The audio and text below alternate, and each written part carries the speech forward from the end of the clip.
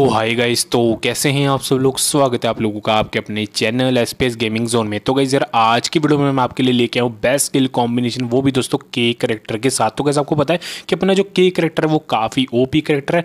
एक तरह से हम इसे कह सकते हैं कि ये जो है एचपी किंग है, ठीक है दोस्तों? तो के करेक्टर काफ़ी ओपी तो इस वीडियो में आपको बेस्ट स्किल कॉम्बिनेशन बताने वाला के करेक्टर के साथ, वो भी दोस्तों फुल मैप के लिए। तो गैस मैं आपको ऐसा स्किल कॉम्बिनेशन बताऊँगा के करेक्टर के साथ कि सामने वाले एनिमी को आपको किल करना बहुत ही ज़्यादा मुश्किल हो जाएगा और आपका जो है सामने वाले एनिमी को किल करना बहुत ही ज़्यादा आसान हो जाएगा। मतलब कि आप जो है सामने वाले एनिमी को आसानी से किल कर सकते हैं। तो बहुत ही मज़ेदार वीडियो होने वाला है। तो प्लीज़ दोस्तों, अगर आपको के करेक्टर के साथ फुल मैप खेलना बहुत ही ज़्यादा पसंद है तो प्लीज़ इस वीडियो को पूरा देखना। और दोस्तों, अगर आप चैनल पर नए और पहली बार हैं तो प्लीज़ हमारे चैनल एसपीएस गेमिंग जोन को सब्सक्राइब कर लेना और बेल को भी नोटिफिकेशन पर सेट कर लेना। क्योंकि चैनल पर हम जो है फ्री फायर से रिलेटेड टिप्स एंड ट्रिक्स साथ में तो डेली जो इवेंट आते हैं, उनकी वीडियोस लाते रहते तो प्लीज़ यार चैनल को सब्सक्राइब करके बेल को ज़रूर से ऑन नोटिफिकेशन पर सेट कर लेना। तो चलिए दोस्तों मैं जल्दी से आपको फुल मैप के लिए बेस्ट के लिए कॉम्बिनेशन बता देता हूँ के करेक्टर के साथ तो चलिए दोस्तों, जल्दी से मैं आपको बता देता हूँ। तो चलिए शुरू करते हैं। तो कैसे आपको ये तो पता है कि के कैरेक्टर की जो स्किल है वो किस तरह से काम करती है बट कोई बात मैं फिर भी आपको थोड़ा सा बता देता हूँ कि के कैरेक्टर की जो स्किल है वो किस तरह से काम करती है। तो कैसे आपको पता है,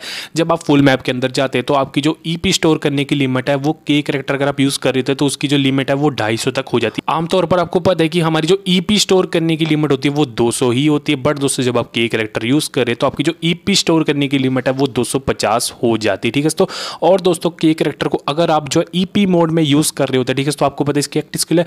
जब आप इसे ईपी e मोड में यूज़ करते हैं तो क्या होता है दोस्तों, ये हर एक सेकंड में आपको जो है तीन तीन e देता रहता है। ठीक है तो काफ़ी ओपी कैरेक्टर है। और दोस्तों, जब आपकी जो एच है, वो माइनस हो जाती है तो उसके बाद क्या होता है कि अगर आप जो के कैरेक्टर को एच मोड में यूज़ करते हैं तो बस क्या होता है कि आपकी जो ई e है ना, वो एच में कन्वर्ट हो जाती है। तो बस पाँच पाँच करके जो इसकी ई जो है एच में कन्वर्ट हो जाती है। ठीक है सो तो आपको पता है के कैरेक्टर काफ़ी ओपी खुद से ईपी जनरेट करता है और उसी ईपी को हम जो एचपी में कन्वर्ट कर लेते हैं। मतलब एक तरह से कह सकते हैं ये ई और एचपी किंग है, ठीक है? तो इस टाइप से दोस्तों, जो के करेक्टर की स्किल है, वो वर्क करते तो कैसे अब आपको जो है के करेक्टर की स्किल के बारे में तो पता चल ही गया तो चलिए दोस्तों, मैं आपको जल्दी से जो है फुल मैप के लिए बेस्ट स्किल कॉम्बिनेशन बार देता हूँ के करेक्टर के साथ।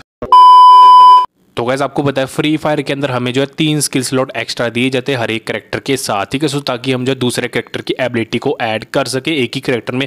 उसी टाइप से दोस्तों के करेक्टर के पास भी जो है तीन स्किल स्लॉट है, ठीक है? दोस्तों तो वहाँ पे आपको क्या करना है, जो सबसे पहला स्किल स्लॉट है फ़र्स्ट स्किल स्लॉट है, उसमें दोस्तों जो आपको एबिलिटी ऐड करनी है, वो आपको लुकेटा करेक्टर की करनी है। तो जी हाँ दोस्तों, जो लुकेटा करेक्टर है, काफ़ी ओपी करेक्टर है, ठीक है? दोस्तों लुकेटा करेक्टर क्या करता है? यहाँ पे आपको पता है, ये क्या करता है कि आपकी जो एचपी स्टोर करने की लिमिट है, उसे जो है बढ़ा देता है ठीक है दोस्तों मतलब कि यहाँ पे क्या होता है, अगर मान लीजिए आपने जो लुकेटा करेक्टर की एबिलिटी को लगाया हुआ है, ठीक है तो क्या होगा कि आपने एक बंदे को किल कर दिया। जैसे आप एक बंदे को किल करेंगे तो आपकी एच स्टोर करने की लिमिट 200 से 225 हो जाएगी। आपको पता है, आमतौर पर हमारी जो एच स्टोर करने की लिमिट होती है, वो 200 ही होती है, ठीक है तो अगर आप लुकेटा करेक्टर का यूज़ करेंगे तो एक बंदा जैसे आपने किल किया, आपकी जो एच स्टोर करने की लिमिट है, दो हो जाएगी। जैसे ही दोस्तों आप दूसरा बंदा किल कर देंगे तो आपकी जो एचपी स्टोर करने की लिमिट है, वो दो सौ पचास हो जाएगी। मतलब कि दोस्तों, आप जो है दो तक जो है एचपी स्टोर कर सकते हैं, ठीक है? बस दोस्तों लुकेटा करेक्टर की यही एबिलिटी की पचास तक जो है आपके एचपी स्टोर करने की लिमिट को बढ़ा देता है उसके बाद नहीं बढ़ाता। तो पचास एचपी दोस्तों, आप मतलब ज़्यादा स्टोर कर सकते हैं सामने वाले एनिमी से।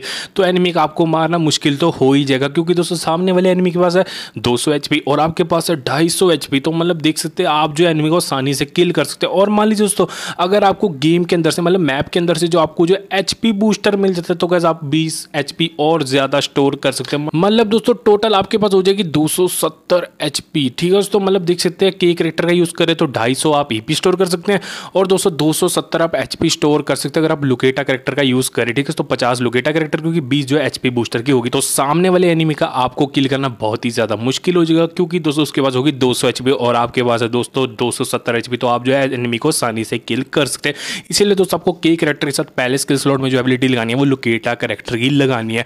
उसके बाद दोस्तों जो दूसरा स्किल स्लॉट उसमें आपको जो एबिलिटी लगानी है, वो दोस्तों आपको लगानी है हयातो करेक्टर की, ठीक है? दोस्तों हयातो करेक्टर यार काफ़ी ओपी करेक्टर है। तो गैस हयातो करेक्टर की एबिलिटी मैं बता दूँ, इसमें क्या होता है कि अगर हयातो को 10 परसेंट डैमेज पड़ता है, ठीक है? सो 10 परसेंट इसकी एचपी माइनस हो जाती है तो ये 10 परसेंट जो है आर्मर पेनिटेशन इसकी बढ़ जाती है। मतलब कि सामने वाले एनिमी की वेस्ट पर ये 10 परसेंट ज़्यादा डैमेज देगा, और अगर हयातो की ज़्यादा एचपी माइनस हो जाती है तो उतना ही ज़्यादा ये सामने वाले बंदे को डैमेज देना शुरू कर देगा। मतलब उसकी वेस्ट पर जो है ज़्यादा डैमेज देगा, साथ ही में उसका जो हेलमेट होता है, उस पर भी ज़्यादा डैमेज देगा। तो गैस अभी आप देखते हैं, हमारे पास है हयातो करेक्टर ठीक है? तो देखते इस समय जो है, उसकी एचपी फुल है, और देखते सामने वाले आदम चचा पर जो हमने जो फोर लेवल की वेस्ट डाली और देख सकते जैसे ही मैं उसे डैमेज दे रहा हूँ हयातो करेक्टर का यूज़ करके तो चौदह चौदह का डैमेज आ रहा है, जो कि बहुत ही ज़्यादा कम है, ठीक है? तो अब मैं क्या करूँगा हयातो की जो है एचपी माइनस करके आऊँगा। देखते मैंने हयातो की एचपी माइनस कर दी, और देख सकते सेम टू सेम वही वेस्ट पहनी हुई आदम चचा को, पर बाईस का डैमेज जा रहा है। मतलब देख सकते हैं, जैसे ही हयातो की एचपी कम हुई तो सामने वाले बंदे को जो डैमेज ज़्यादा जाने लग गया। देख सकते बाईस का हो गया। अब जैसे दोस्तों, मैंने और एचपी माइनस की तो देख सकते अब जो है छब्बीस छब्बीस का डैमेज जा रहा है। मतलब देख सकते डैमेज बढ़ता ही जा रहा है। हयातो की एचपी कम होती जा रही है और दूसरे बंदे पर जो डैमेज बढ़ता जा रहा है। ठीक है तो अब हम जो है हयातो करेक्टर के एचपी को और भी ज़्यादा कम कर देते तो अब देख सकते दोस्तों, सामने जैसे वो डैमेज दे रहा है तो चौंतीस का डैमेज जा रहा है फोर लेवल की वेस्ट पे। मतलब दोस्तों, देख सकते हैं, हयातो की जितनी भी एचपी कम होगी तो उससे ज़्यादा डैमेज है सामने वाले बंदे की वेस्ट और हेलमेट पर देगा। ठीक है तो मतलब देख सकते हयातो करेक्टर कितना ओपी है। ठीक है तो और साथ में दोस्तों, इसका एक और फ़ायदा यहाँ पे क्या है कि अगर हयातो को सामने की तरफ़ से डैमेज पड़ता है, ठीक है तो सामने की तरफ़ से डैमेज पड़ता है तो उसका डैमेज भी वो 3.5 परसेंट तक उसे कम पड़ेगा। मतलब देखते हयातो की एबिलिटी कितनी ओपी है, सामने वाला डैमेज भी कम पड़ता है, ठीक है तो और अगर इसकी एच ज़्यादा माइनस होती रहती है तो ये क्या करता है, सामने वाले बंदे की वेस्ट और हेलमेट पर जो है ज़्यादा डैमेज देने लग जाता है। मतलब हयातो करेक्टर कितना ओपी है, इसलिए दोस्तों, कई करेक्टर के साथ आपको दूसरे स्किल स्लॉट में हयातो करेक्टर की स्किल को लगाना है, ठीक है तो उसके बाद दोस्तों, जो तीसरे स्किल स्लॉट में आपको एबिलिटी लगानी है, वो दोस्तों, आपको लगानी है जो सब करेक्टर की, ठीक है? दोस्तों तो जो सब करेक्टर है, काफ़ी ओपी करेक्टर है। तो जो सब करेक्टर क्या करता है दोस्तों? जैसे ही मान लीजिए इसको डैमेज पड़ता है, ठीक है? तो इसको डैमेज पड़ता है तो क्या होता है? इसकी जो मूवमेंट स्पीड है, वो बीस परसेंट इंक्रीज हो जाती है। मतलब कि दोस्तों कैली करेक्टर से भी ज़्यादा इंक्रीज होती है उसका क्या दोस्तों? छः परसेंट उसकी स्पीड है, वैसे ही तेज होती है। बट दोस्तों, अगर आपको डैमेज पड़ता है तो दोस्तों, अगर आप जो सब करेक्टर यूज़ करें तो आपकी जो बीस परसेंट मूवमेंट स्पीड बढ़ जाएगी। मतलब देख सकते हैं, आप जो एनिमी से बच भी सकते हैं, या फिर दोस्तों, अगर आपकी स्पीड तेज होगी तो आपको एनिमी के पीछे घूमकर उसे आसानी से किल वगैरह कर सकते हो। और दोस्तों, आपकी एचपी स्टोर करने की लिमिट ज़्यादा तो है ये। बाकी दोस्तों के करेक्टर का यूज़ करके आप जो है ईपी e को एचपी में कन्वर्ट कर सकते हैं, ठीक है? दोस्तों, जल्दी से जल्दी और सामने वाले एनिमी को आसानी से किल कर सकते हैं। क्या बात है सर क्या बात है सर क्या बात ये बात है। तो गैस ये जो मैंने आपको कॉम्बिनेशन बताया है फुल मैप के लिए के करेक्टर के साथ तो गैस अगर आप इस स्किल कॉम्बिनेशन का यूज़ करते हैं तो आप सामने वाले बंदे को आसानी से किल कर सकते हैं बट सामने वाला बंदा आपको जो इतनी आसानी से किल नहीं कर पाएगा, ठीक है? तो क्योंकि जो मैंने आपको स्किल बताया, उसमें आपका बहुत ही ज़्यादा फ़ायदा है, ठीक है? तो आप सामने वाले बंदे को आसानी से किल कर सकते हैं। मतलब देखते हैं कितना अच्छा वाला कॉम्बिनेशन बना है। तो गैस अगर आपको ये वाला कॉम्बिनेशन पसंद आए तो प्लीज़ इसे ज़रूर ट्राई करना फुल मैप के लिए। मुझे यकीन है दोस्तों, आपको ये स्किल कॉम्बिनेशन अच्छा लगेगा और आपका जो गेम प्ले है, उसमें इंप्रूवमेंट भी आएगी, ठीक है? तो आप जो सामने वाले बंदे को भी आसानी से किल वगैरह कर सकते हैं।